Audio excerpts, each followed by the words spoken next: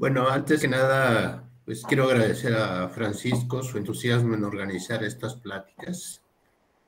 Sí, y también a la profesora Matilde Santos, que me hizo el honor de, acompañarla durante esta estancia en, en, España, en Madrid, en la Complutense. Y bueno, quiero comentarles que mi relación con científica con España arranca en el 97, ¿sí? Entonces tengo, sí, aproximadamente 26 años de relación profesional con España, ¿sí? Y eh, mucho del trabajo que voy a comentarles van a ver el símbolo del Torres Quevedo, porque mucho, mucho de este trabajo eh, intervino un grupo, ¿sí? Y bueno, también les comento que la gran mayoría de las personas hasta antes de, este año, sí, prácticamente todos mis colegas se han jubilado. Entonces, entonces eh, es parte de esta estancia, pues precisamente quiero escribir parte de estas experiencias que les voy a relatar. Bueno, entonces el título de pues ya lo están viendo ustedes, ¿sí? Y para arrancar, pues creo que es importante, ¿sí? Que ustedes sepan que la bioelectrónica en México, ¿sí? Arranca en el año 1971, ¿sí? Y con los años, pues ahora se le conoce en general como la ingeniería biomédica, ¿sí? Y la ingeniería biomédica, como todas las ramas del, del saber, de alguna manera nace y comenzamos a darle un lugar dentro del área del, conocimiento. ¿sí? Para darse una idea, ¿sí? recuerden ustedes que en la salud, ¿sí? gran parte del, del presupuesto de los países se orienta al mantenimiento de la salud de la población. Si necesitamos un tercio de, nuestro, de nuestra vida para dormir y descansar. Igual pasa con la economía, en la, parte de la, de la salud. Les aseguro que es mucho más de un tercio del Producto Interno Bruto de un país dedicado a la salud. Y así como estamos comentando esto, para los que no se han puesto a pensar, la industria relacionada con la salud ¿sí? la cantidad de dinero que maneja. Entonces, la importancia del área, ¿sí? Eh, quizá ahora pues, la gente joven no sea consciente de lo que cuesta mantener la salud. Los que tenemos algunos años sabemos el precio de mantener nuestra salud.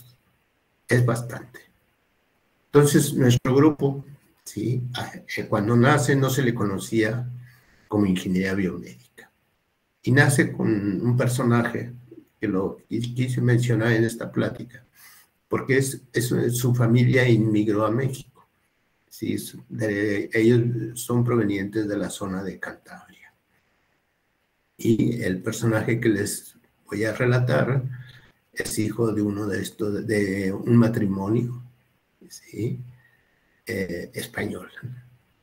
Entonces, él, era un investigador en el campo de la medicina, concretamente en el campo de la fisiología, y era un gran aficionado a la electrónica. ¿sí? Y tanto era tan aficionado a la electrónica que, además de hacer sus estudios de medicina, pues se la pasó trabajando en cosas, en lo, en lo personal, fuera de sus estudios, en cosas de de radio, ¿sí? Era bastante, bastante bueno en radio y tenía una capacidad de análisis impresionable, impresionante en lo que se refiere al conocimiento. Entonces, él, fundó un grupo que se le llamó por azares del destino, se le llamó bioelectrónica porque había que darle un nombre. Sí, hay muchas cosas chuscas que puedo comentar sobre esto, pero eh, tenemos muy poco tiempo, así que me, voy a ser más concreto.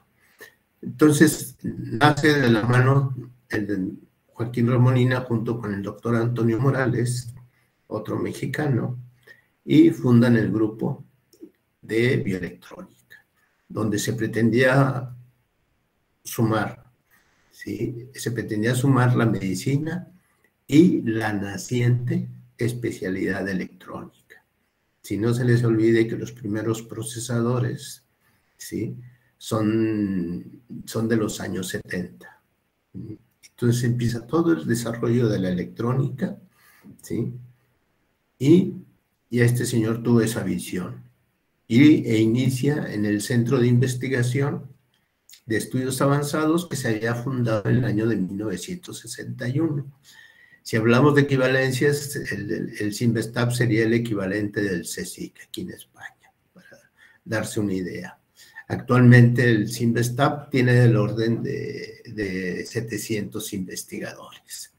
¿sí? Más, y tiene pues, seis campus ¿sí? en México. Uno de ellos es la Ciudad de México, la, la matriz donde nació todo este concepto y que es de donde yo vengo y que es mi centro de trabajo. Y mi centro de trabajo en bioelectrónica donde el posgrado se funda en 1973. Entonces, esta introducción es, para comentarles que este señor, ¿sí? de origen español que funda bioelectrónica, lo funda con una idea nacionalista. ¿sí? Él deseaba que todos los instrumentos que se fabricaran en México dedicados a la salud ¿sí? fueran diseños nacionales. Para ubicarlos un poco, en aquel tiempo México tenía cerrada la, frontera para importación de tecnologías de, la naciente electrónica. Y las tecnologías de hospitales eran muy, muy complicados, incluso las compras. Bien, entonces la, la, idea ¿sí? surge y empieza a formarse ¿sí? bioelectrónica y empieza con sus primeros diseños. ¿sí? Entonces, en, los, eh, yo hago una separación de, etapas de la vida de bioelectrónica en México, pues porque me nació, me tocó desde estudiante de este señor, yo fui uno de, sus discípulos, y me tocó encabezarla bastantes años. Entonces, por eso tengo muy claro las etapas. Entonces, en sus primeros años se construyeron instrumentos. Para que se hagan una idea, en el año 1980 yo calculaba que había no menos de unos 100 diseños. Y estos diseños eran encargados por laboratorios, ¿sí? Y para que se les hicieran tenían que pagarlos por, por adelantado. Entonces estos diseños se hacían entre nuestro jefe, el doctor Remolina y nosotros. ¿sí? Todo el mundo tenía que ponerse a estudiar y a trabajar constantemente. Entonces, además de hacer los diseños, pues teníamos que construirlos. Y además de construirlos, pues, teníamos que, que probarlos, en nuestro caso, en pacientes. Sí, entonces, en pacientes y en, y en grupos de investigación del área de la fisiología y de la biología. Entonces, tuvimos varios instrumentos exitosos. ¿sí? Si alguno de ustedes conoce las unidades de cuidados intensivos, nosotros diseñamos una unidad de cuidados intensivos y esta se colocó en varios hospitales de México y también en centros de enseñanza de la fisiología. Así de memoria les puedo decir que se construyeron no menos de unas 100, ¿sí? 100 equipos de estos. Además de estas unidades de cuidados intensivos, también hubo enseñanzas para fisiología, ¿sí? Y eh, incluso de República Dominicana nos llegaron a encargar un sistema completo ya de en aquel tiempo, estoy hablando desde 1979, de telemedicina, ¿sí? cuando no existía este concepto. ¿sí? Entonces se construyeron sistemas de comunicación. Cuando hablo de que se construyeron, todo lo hacíamos en el laboratorio. ¿sí? Teníamos un equipo de, un, equipo de técnicos que, traba, que se tenían tornos, todos los maquinados se hacían allí. Nosotros hacíamos los circuitos impresos, hacíamos perillas, hacíamos las carcasas, o sea, desarrollamos toda todo el conocimiento y toda la experiencia para desarrollar instrumentos.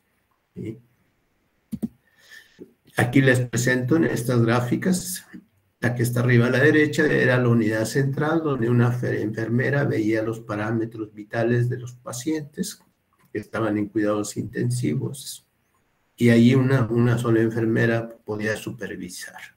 Y tenía todos los sistemas de alarma, cuando, por ejemplo, en el caso de la electrocardiografía, eh, cuando había un problema sonaban las alarmas ya, y los equipos ya, ya existían, las unidades de rehabilitación de, de choques eléctricos, los desfibriladores.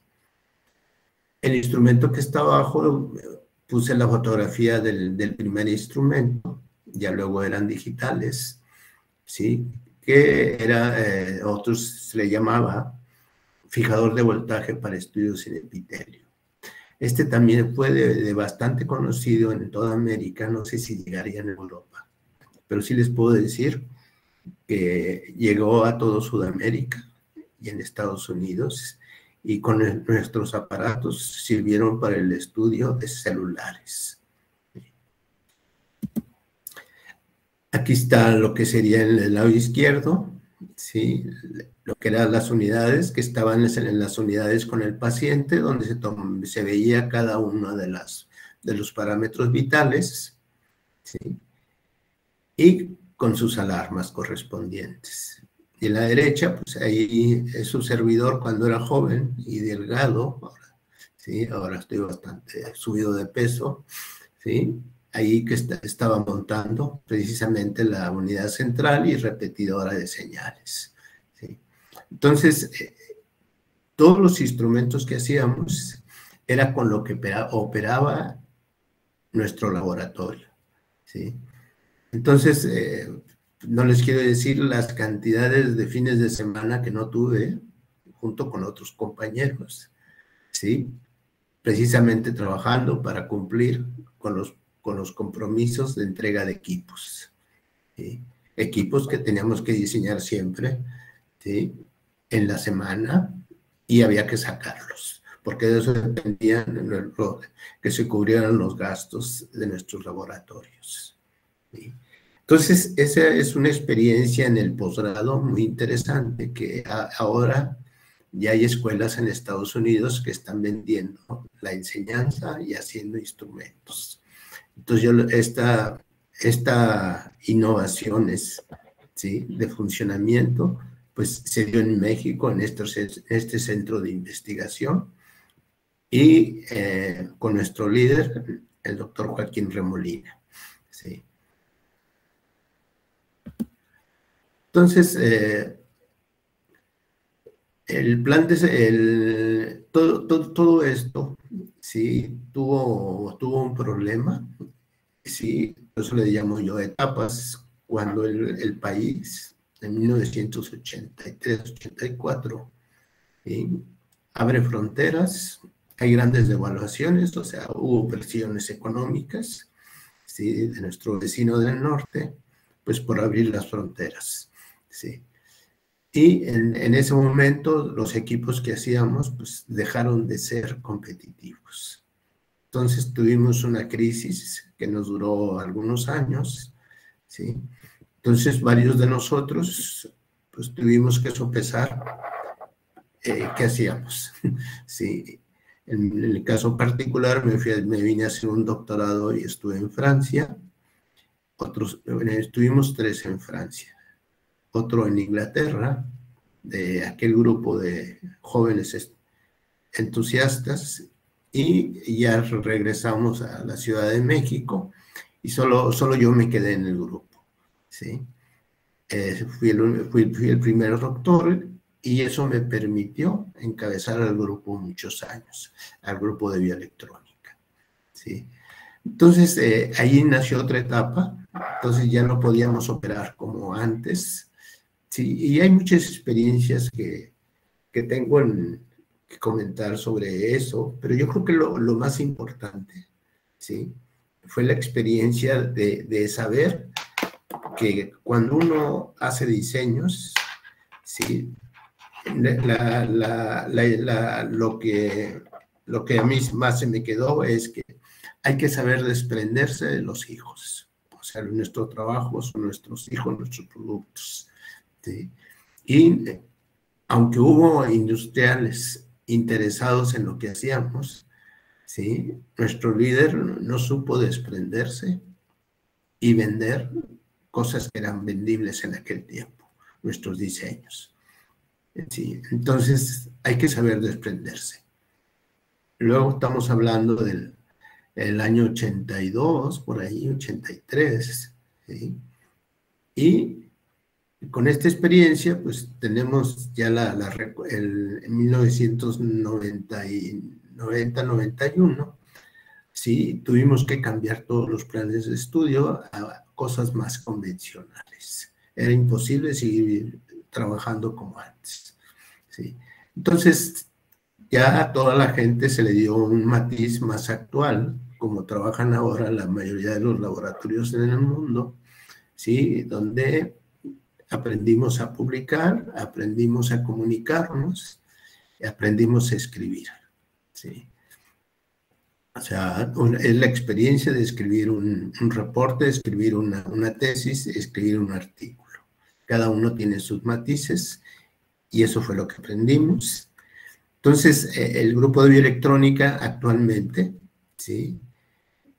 Tenemos más de 400 egresados, del orden de 50 doctores en, ciencias, ¿sí? Y eh, somos una, fábrica de postdoctorantes, así de concretos, y del conocimiento, pues es parte de lo que voy a comentarles posteriormente, ¿sí?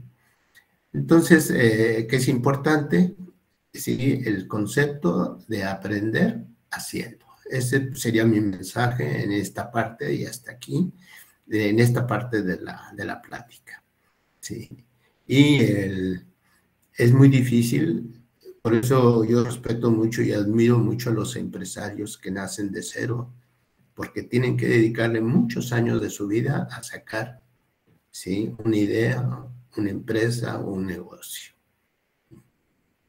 Bien. Un hospital ¿sí? Regresamos a la ingeniería biomédica, En este momento, un hospital es un área de diagnóstico, de consulta médica, de tratamientos, incluso ya tiene una, un área nueva que nació hace unos 15 años, ¿sí? Pues cuando las personas están en estado terminal, hacérselo suaves, ¿sí? Y todo esto, de lo, todo esto que estamos hablando, Estamos hablando de tecnologías, estamos hablando de conocimientos. Entonces, todo lo que ustedes ven en un hospital, cualquier equipo, ¿sí? Es, hay detrás un conocimiento y una tecnología. ¿sí? Entonces, hay cosas que nos han marcado dentro del área de la salud y dentro del área de la tecnología. Y hay puntos que en los últimos años nos hablan del conocimiento y de los saltos que hemos dado como sociedad y como género humano. Uno de los puntos importantes, pues, es el genoma humano. El genoma humano, la mayoría de ustedes deben ser muy jóvenes, pues nace prácticamente con el Internet. Y sin el Internet no se hubiera podido dar este fenómeno del genoma, donde en todo el mundo, sí, hubo este programa y donde todo el mundo podía mandar sus experiencias y sus nuevos conocimientos. Y actualmente pues estamos haciendo uso de eso. Ya todo, todo el mundo podemos mandar a hacer un análisis de nuestra genética y ya a través de esta información ya sabemos de cuáles son nuestras posibles eh, defectos de fabricación y también ya podemos prevenir ¿sí? muy gran parte de la medicina y también a través de este conocimiento pues ya se han estado trabajando mucho sobre los nuevos fármacos ¿sí? alterados genéticamente o con herramientas genéticas contra una enfermedad. Si parte de esto, de, parte de esta información, pues es, es el COVID que acaba de pasar. Sí, es parte de, la, de, la, de, las, de las vacunas nuevas. ¿sí? Entonces, tenemos avances importantes en el campo de las nanotecnologías. En el campo de la investigación, pues ya podemos hablar de los laboratorios de garaje, o del garage o de la casa, ¿sí? Con todas estas eh, nanotecnologías, ¿sí? Ya todo el mundo podemos tener con la información necesaria, ¿sí? Nuestros laboratorios en casa, ¿sí? Y, prácticamente a donde ustedes vean, hay innovaciones. ¿sí? tenemos una avalancha del conocimiento que hay que estar entrenados para separar lo que no es conocimiento y lo que es, yo le llamo ruido de la información. ¿sí? Entonces, dentro de este aspecto de las nuevas tecnologías, ¿sí? Esta, esta lámina que les presento, eh, del lado derecho es una sala de operaciones ahora normal, ¿sí? donde están toda una serie de equipos alrededor y toda esa serie de equipos de alrededor, toda la instalación, todo el diseño, ¿sí? todo el conocimiento que hay aquí en esta sala, ¿sí? es parte de la ingeniería biomédica. Entonces ya se da una idea de que esta disciplina, ahora en el mundo, ya se concibe, y a mí me ha tocado ver cómo, al menos en un centro de investigación sobre el cáncer en Francia, con, con el que hemos colaborado bastante, pues de que, de que es similar a esta fotografía en ese centro de investigación donde se trata y se detecta cáncer. ¿sí? Del lado izquierdo, pues es una comparación de cómo se hacía en el, siglo XIX y para atrás. Unas salas de operación que eran unas salas de grandes sangrías. ¿sí? Y, y en esto, pues hay muchos museos donde se tienen se tienen salas antiguas y se ven las canalizaciones para todos los flujos que se sueltan cuando hay, hay, una, hay una invasión en el cuerpo, cuando hay un corte, pues. Entonces, esta, esta lámina a mí me gusta porque ejemplifica, la de la derecha, lo que es la tecnología en la actualidad. Entonces, el, ¿Qué es lo que se espera en, el campo de la, de la ingeniería biomédica? Pues ya, ya actualmente se busca que haya una prevención. Cuesta mucho tratar las enfermedades cuando ya están, entonces es importante que haya un diagnóstico temprano.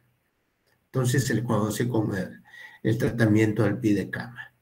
El acceso por gracias a la comunicación, a la telemedicina. Pueden estar los especialistas en un lado y los pacientes en otro, e incluso desde su casa por el teléfono ya se puede dar las primeras instrucciones. Entonces esto, esto baja mucho el costo. Al menos en México, en, hace los años 90, la mayor, la mayor parte de los pacientes de, con problemas cardíacos morían en el trayecto al hospital. ¿sí? Entonces, por eso nosotros tuvimos con hospitales en México proyectos de telemedicina, ¿sí? y en donde nos teníamos que asegurar que los pacientes que entraban al programa tuvieran teléfono en su casa y asegurarnos que el hospital que entraba en el programa tuviera también un teléfono y exclusivamente para ese servicio. Entonces nos tocó hacer investigación y comenzar con ese tipo de, telediagnósticos. Luego ya también en, la actualidad y en el futuro, pues se está propugnando porque la gente se haga autodiagnósticos. Y para mí, gran parte del desarrollo de las pulseras, que también se dio en el COVID, sí, las pulseras deportivas, y ya actualmente pues prácticamente pueden hacer los primeros diagnósticos uno mismo directamente. Nada más lo que requiere uno un poco de cultura de qué hacer en caso de tal problema. Entonces, es, es parte de la, de la escuela de prevenir y tratarse al pie de cama, si es posible. Entonces, ya viene la, medicina genética, un proyecto los que les voy a comentar, pues está relacionado con el tratamiento, ¿sí? Del, del Alzheimer, ¿sí? Y eso ya lo vamos a comentar en su momento. El monitoreo remoto, ¿sí? Y en el futuro se espera el desarrollo del ultrasonido. Esa es una predicción ¿sí? En prácticamente todos los instrumentos de escaneo del cuerpo, estoy hablando del cuerpo, ¿sí? Eh, se vayan avanzando la tecnología para hacerse por ultrasonido. ¿Por qué por ultrasonido? Pues por el ultrasonido hasta ahorita de las tecnologías de radiación ha mostrado ser la menos agresiva. Menos agresiva por el, menor contenido energético. ¿sí? todas las técnicas que se utilizan ahora a partir de, lo, de, la, de la, luz visible tienen demasiada energía, ¿sí? Y el cuerpo se la va comiendo. O sea, cuando hacemos un escaneo nos estamos comiendo esa energía. Y ese es el concepto que tenemos que quedarnos y ese es parte del, del futuro. Entonces, yo les voy a hablar de ahora, en el tiempo que me resta, de mi laboratorio. La verdad es que eh, son 40 años de trabajo, son muchos trabajos que van a ver, que ver ustedes aquí, y gran parte de este trabajo, más bien todo el trabajo, ha sido hecho por estudiantes. Y eh, estos estudiantes, uno como profesor, pues eh, lo que pasa ahora en todos los laboratorios, el trabajo del profesor es buscar recursos, ¿sí? buscar los recursos económicos, buscar tener una infraestructura apropiada y crearles el ambiente de trabajo. Y todo esto, pues en mi laboratorio han pasado no menos de, de 100 personas, ¿sí? prácticamente tenemos una tasa de graduación muy alta y también tenemos requisitos de graduación también altos. ¿sí? Entonces, en mi laboratorio también debo mencionar que como trabajamos con personas, o sea, para que esto tenga éxito en el área de ingeniería biomédica, hay que tener contacto con médicos, hay que tener contacto con hospitales, hay que tener, hay que conocer eh, las normativas. Entonces, todos los trabajos que ustedes van a ver que donde hemos trabajado con tejidos biológicos, tienen que cumplir unas normativas. Y esto aproximadamente en México al menos tiene, eh, tiene unos 20 años, que ya es un delito, ¿sí? trabajar con pacientes, con instrumentos o, que no cumplen las normativas. Entonces prácticamente todos los instrumentos que ustedes ven son cosas nuevas y los que utilizan instrumentos comerciales y también tenemos esos diseños, no podemos reportar nuestros resultados, ¿sí? Precisamente porque no están, no están homologados. O sea, no, están, no han pasado una serie de normativas y si no hay esa homologación, sí, eh, es, es, es un delito usarlos. Entonces, aquí estoy mencionando que se cumplen las normativas recomendadas por el Código de Helsinki, donde esas normativas están relacionados con el, respeto a los animales al tejido biológico y mucho respeto con el paciente. Entonces, eh, parte de esto, de estas normativas, es, es tener una firma de consentimiento. Entonces, ahí esa firma de consentimiento básicamente es que el paciente que acepte, primero tiene que aceptar ser parte de mediciones que no están homologadas y segundo, que está de acuerdo con, con presentarse. Entonces nosotros, la, la gran mayoría de nuestro trabajo son instrumentos no invasivos. ¿Por qué? Pues porque los instrumentos invasivos requieren muchas condiciones, muchas normativas que hay que cumplir. ¿Sí? Y bueno, esto ya lo mencionaré, pero eh, son bastante pesadas de cumplir esas, esas normativas. ¿sí? Entonces, este se utilizó, sí, este protocolo con de trato con el paciente se utilizó en un proyecto que teníamos de seguimiento de diabetes con, con tecnologías que estamos proponiendo. Digo, para los que alcancen a leer, no, lo voy a quitar, pero ese es el concepto. ¿sí? De, hay que firmar una carta de conocimiento informal.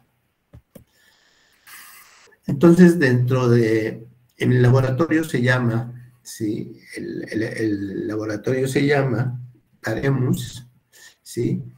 Y, es un laboratorio de radiación electromagnética, o sea, nuestra especialidad es la radiación electromagnética y ultrasónica, con fines de, proponer nuevas tecnologías instrumentales, utilizando estas dos técnicas.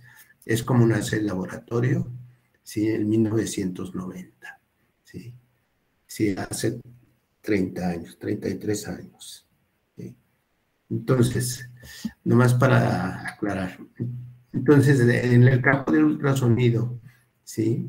Bueno, eh, no tienen por qué saberlo, pero la mayoría de las, de las, de las características físicas de cualquier material, ¿sí? tienen, están medidas y están caracterizadas, pero todas están medidas a, a una temperatura, ¿sí? Y en un ambiente. Entonces, eh, nosotros para proponer el instrumento necesitamos tener la infraestructura y tener, y tener el conocimiento para proponer cosas nuevas, ¿sí? Acuérdense que estamos compitiendo contra transnacionales en, en nuestras propuestas instrumentales. Entonces aquí, eh, este es parte de un proyecto de tener medidores de temperatura basados en señales ultrasónicas. Sí. Aquí eh, les podía contar mucha historia de cómo nace cada proyecto, pero eso nos tomaría mucho tiempo. Pero entonces quédese con la idea de que el primer proyecto ¿sí? es, es el proyecto de, del sensor de temperatura. Y ya esto, lo que le estoy mostrando en esta, en esta gráfica, pues es el desarrollo. En el lado izquierdo, pues las técnicas de procesamiento de señal, ¿sí? En el lado, en la parte central, pues la experimentación que se tenía que hacer. Entonces ahí se ve en la parte central, que es el corazón de este proyecto. Son unas cubas o, unos recipientes donde hay unas temperaturas constantes. ¿sí? Entonces caracterizamos ¿sí? tejidos musculares, cómo se comportan a diferentes temperaturas. ¿Por qué? Pues nuestra especialidad es esa. Utilizamos el ultrasonido y utilizamos ¿sí? para irradiar calor controlado bueno, no, tienen por qué tener este conocimiento, pero generalmente las fiebres que, el cuerpo tiene cuando tiene un problema de, de salud, este, hay fiebres y son los mecanismos del cuerpo para aumentar la eficiencia de los fármacos que tomamos. Entonces también nosotros utilizamos el calor para provocar hipertermia controlada, ¿sí? Y con efectos terapéuticos que luego voy a, que voy a ir relatándoles con cada proyecto. Entonces aquí, aquí ven, dentro del termómetro ya tenemos caracterizado los cambios de temperatura ¿sí? en ciertos tejidos. Y estas gráficas que ven y esto que se ve del lado izquierdo no son más que eh, las señales a diferentes temperaturas. Este otro proyecto, ¿sí? Eh, es un desarrollo de una guía de onda, donde esta guía de onda, que es esta, ¿sí? Esta, que esta guía de onda produce, eh, produce o emite radiofrecuencia al exterior. Entonces aquí está la, en este gráfico de la derecha, ¿sí? aquí está la, simulación. Y en esta simulación vemos la temperatura que, que provoca que producen ¿sí? en, un, en, un, en, un, emulador de tejido. Y por eso aquí es, en, esta gráfica vemos cuál es el efecto. ¿sí? Y aquí les voy a decir que este es un diseño súper novedoso. Los que hay comerciales miden metros. Este que ustedes les estoy mostrando mide del orden de 20 centímetros, este aplicador. Entonces, la, innovación tecnológica fue bastante y esto todavía se puede reducir a 5 centímetros, ¿sí? Pero eh, nos salía muy cara la experimentación por el contenido del, líquido que tenía que tener dentro. Entonces, aquí está, aquí se conecta la, la, antena. Aquí ya estoy diciendo que este es un, son la frecuencia prácticamente del agua, 2.4 GHz, ¿sí? Y acuérdense que para hacer este tipo de, de, investigaciones necesitamos la infraestructura. En nuestro laboratorio, con, con, proyectos, que no es el caso de la plática, pues hemos tenemos, tenemos infraestructura, ¿sí? Para hacer cualquier experimento de ultrasonido y en el campo de radiofrecuencia tenemos para generar y para medir efectos dentro, también dentro de algunas frecuencias, porque esta, esta es más específica y es carísima. Bien, entonces este se generó este, este aplicador de energía electromagnética. Luego, en este mismo aplicador, ¿sí?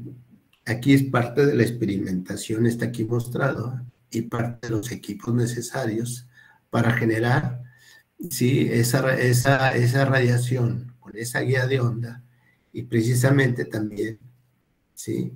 aquí estamos viendo efectos en phantoms ¿sí? y las mediciones. Entonces, aquí en el, en el gráfico de la derecha, en la fotografía, pues está mostrando el, el phantom donde se hicieron las pruebas. ¿sí? y el equipo que se utilizó. Entonces, las diferentes temperaturas a diferentes distancias, ¿sí? con respecto a la, salida de la radiación, pues es lo que se ve en la, tabla de la derecha. ¿sí? Entonces, aquí para cuestiones del electromagnetismo, pues los sensores eran sensores de fibra óptica, ¿sí? y donde estábamos midiendo los cambios de temperatura. Luego, ya les hablé del ultrasonido, ya les hablé del uso de la energía electromagnética y el proyecto siguiente también está relacionado con, con hipertermia, pero está más relacionado, ¿sí? Con la aplicación de arcos de voltaje, ¿sí? Se le, se le conoce como electroporación, ¿sí? Entonces aquí la, la electroporación ¿sí? se utiliza para difundir o permitir el paso o aumentar la eficiencia de los fármacos en las zonas de interés. Entonces, este proyecto se desarrolló con una fundación contra el cáncer de mama en México, ¿sí? precisamente porque nuestra, gran parte de nuestro trabajo está orientado al tratamiento de cáncer. Ya iré comentando las características. Entonces, en, el ámbito internacional, la electroporación se sabe que, es un método terapéutico para cánceres superficiales, sobre todo en, piel y hasta, hasta como dos centímetros de profundidad. Entonces, la, la técnica ¿sí? Es, eh, este es un equipo comercial, pero como todo lo, todo lo comercial, ¿sí? Es para usos muy específicos, ¿sí? Entonces, este es para, para uso en cáncer de piel. Estos que ven aquí en la, parte última, tenemos varios, varios electrodos que hemos diseñado, que ya están en uso en varios laboratorios y esto, tenemos aquí un, estudiante que se ha entusiasmado mucho en esto y ya tiene como 15 años trabajando en el tema y está, ha, estado proponiendo cosas muy novedosas en este campo. Entonces, esta técnica consiste en aplicar arcos de voltaje en la zona de interés y los fármacos ¿sí? que están en la zona. Se mejora mucho la introducción en, las células junto con estos arcos de voltaje. Entonces, son, aquí son algunas consideraciones ¿sí? de, electro, la, de la electro, electroporación, ¿sí? cómo se utiliza en combinación con otras técnicas. Generalmente esto se utiliza en combinación con químicos. ¿Sí? En la quimioterapia. Y se han hecho, ya tenemos nosotros todas las pruebas científicas de su eficiencia. Precisamente es la, la, investigación que está haciendo y nosotros estamos proponiendo ya sistemas para ser utilizados a 4 o 6 centímetros al interior. Sí. Este otro proyecto, sí, es una aguja, prácticamente es una aguja y nosotros lo llamamos una tecnología medio invasiva.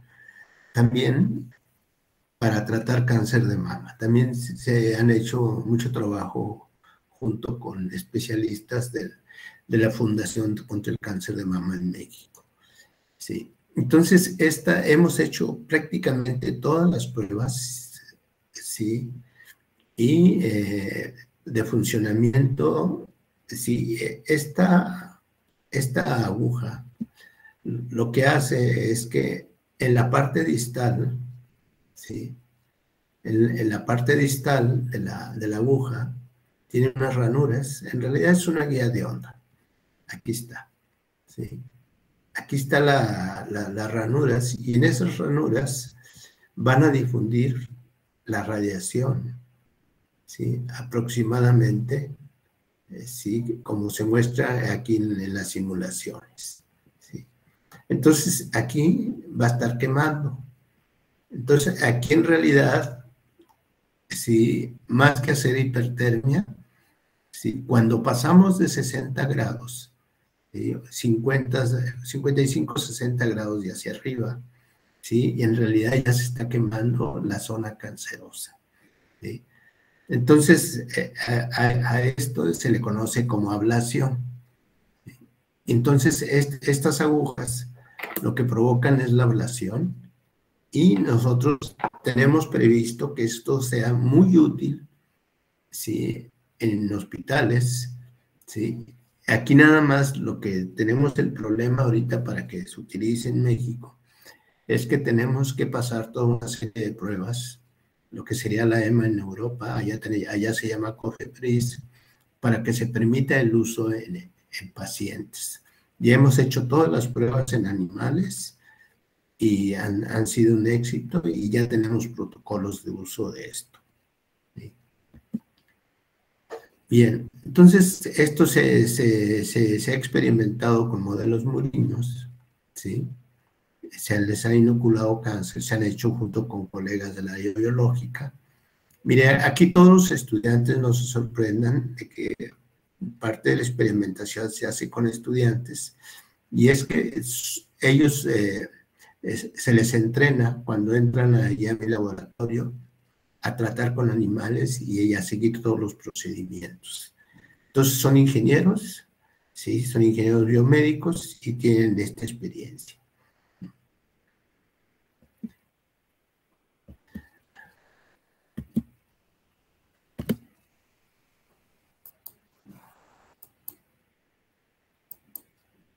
Sí, no era, más que parte de la, del, experimento. Eh, y luego ya, este, ya son los parámetros sí, que, que, utilizamos, que hemos aprendido a usar, y serían los protocolos del equipo para provocar el quemado del cáncer. Luego, También este mismo sistema con otros diseños se está utilizando en el Hospital Instituto Nacional de Rehabilitación en México para el tratamiento de cánceres, ¿sí? De cánceres en, de hueso, ¿sí? Entonces, esto también ya, ya este se está trabajando directamente con el médico, ¿sí? Y también ya se está, se está implementando y también el problema que tenemos que tiene que ser homologado y tenemos que pasar una serie de, de pruebas y la verdad es que pasar estas pruebas es horrible y es, es, parte de lo que nos está deteniendo en mucho de nuestro trabajo para que se utilice en hospitales. Y también, pues, este es otro trabajo que se está utilizando para la apertura de la barrera hematoencefálica. Este es el que le dije que se está tratando, ¿sí? Para pacientes con, con, Alzheimer, donde el problema no es que no haya fármacos de cómo tratarlo, sino de que tiene que llegar a la base del cerebro, el fármaco. Entonces, eh, sabemos que en el mundo que hay fenómenos con temperatura que se abre momentáneamente eh, esta, eh, esta barrera ¿sí? natural entre el vaso sanguíneo y el cerebro. Entonces, aquí la técnica que nosotros nos propusieron los, investigadores es provocar, porque se, enteraron que nosotros podíamos eh, provocar o inducir calor en zonas del cuerpo. Y nos propusieron esto hace como 10 años, este proyecto, y, y lo, se desarrolló. Y todo esto no es más que para mostrarles Aquí son cerebros de modelos murinos, donde se le, al, cerebro del, del, animal se le hace una pequeña trepanación para irradiar ultrasonido y se focaliza en la zona que se le conoce como la barrera hematoencefálica. Ahí se provoca calor. Y este calor provoca que se abra momentáneamente esa barrera y aquí lo que les estoy mostrando eh, se utilizó como indicador azul de Evans, ¿sí? Para demostrar que la técnica funciona. Y aproximadamente ya tenemos eh, eh, con, con lo que aquí les comento, ¿sí? Se abre por aproximadamente seis horas. ¿Sí? Entonces los fármacos se pueden administrar, se han hecho los experimentos con animales, y los colegas que nos propusieron este proyecto, junto con la institución en este momento, están en tratos con una empresa farmacéutica. Entonces, eh, este, este sistema funcionó con ultrasonido focalizado. ¿sí? Entonces, este es, es focalizado en la zona de interés y se provoca este calentamiento muy localizado, aproximadamente 3 grados y se, se presentó el fenómeno. Este es un equipo de ultrasonido que, que se utilizó y se caracterizó en el hospital y, y aquí han intervenido muchos grupos. Este es un, un, equipo que se utilizó para medir el flujo sanguíneo a nivel de corazón en las coronarias. Este fue un proyecto junto con grupos europeos. ¿sí? Y funcionó, pero nos faltó la parte de homologación. Bien, eh, bueno, no les voy a marear con esto, ya el tiempo se nos terminó, pero eh, tenemos muchos trabajos, sobre todo en diabetes, donde ya podemos caracterizar sin, con otros métodos y hacer el seguimiento. Pues el, el tiempo se nos terminó y y no quiero más que mostrarles esto. Yo creo que las maravillas de la, de la naturaleza están allí y yo, yo, creo que es parte de nuestro trabajo es descubrir el conocimiento que está en la naturaleza. ¿sí? Bueno, estos son las cataratas de Iguazú, son uno de las maravillas naturales que yo conozco y quise también compartirlas. Pues sería todo, Francisco. Ya el tiempo que tenemos